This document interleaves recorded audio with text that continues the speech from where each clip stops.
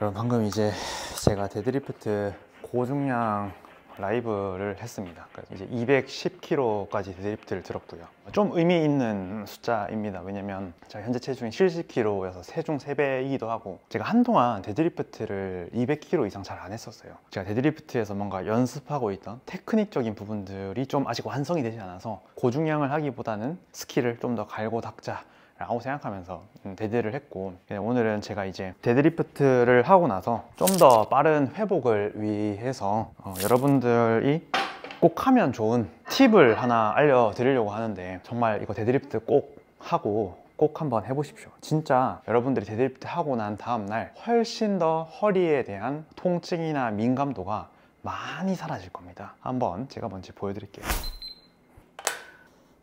2분간 매달리기를 할 거예요. 무조건 자기 키보다 높은 곳에 있어야 되고요. 저는 사실 뭐 여기서 그냥 악력 훈련도 연습한다고 생각하고 스트랩을 안 쓰긴 하는데 네, 한번 해보겠습니다. 그래서 2분 타이머 키고 이제 올라가서 여기서 버틸 겁니다.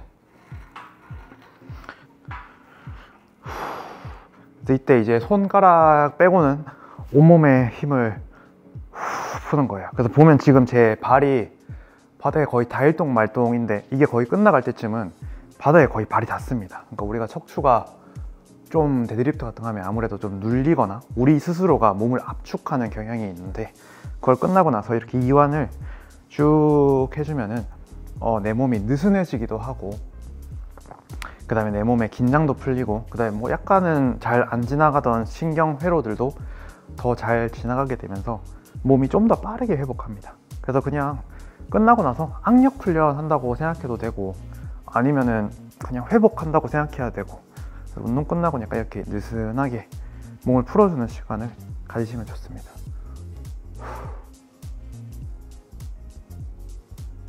그래서 아마 처음 해보시면은 이게 힘을 풀기가 쉽지 않을 거거든요. 몸에 계속 힘이 들어갈 거예요. 근데 힘을 점점 풀어보는 겁니다 그냥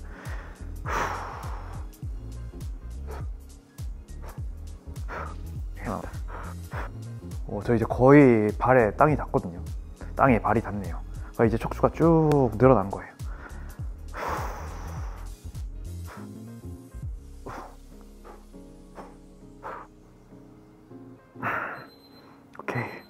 내려올 때 되게 조심히 내려가야 됩니다. 오케이. 그래서 이렇게 전환 훈련도 하고 그 다음에 몸에 이렇게 느슨함도 주고 그 다음에 우리가 아무래도 고중량 운동 같은 거 하다 보면 몸을 이렇게 막 웅크리고 있기 때문에 그런 웅크린 몸을 펴주기도 하는 뭐 좋은 마무리 스트레칭이었지 않나. 여러분들도 데드리프트 하고 그냥 집에 가지 마시고 이걸 꼭 한 번만 해보십시오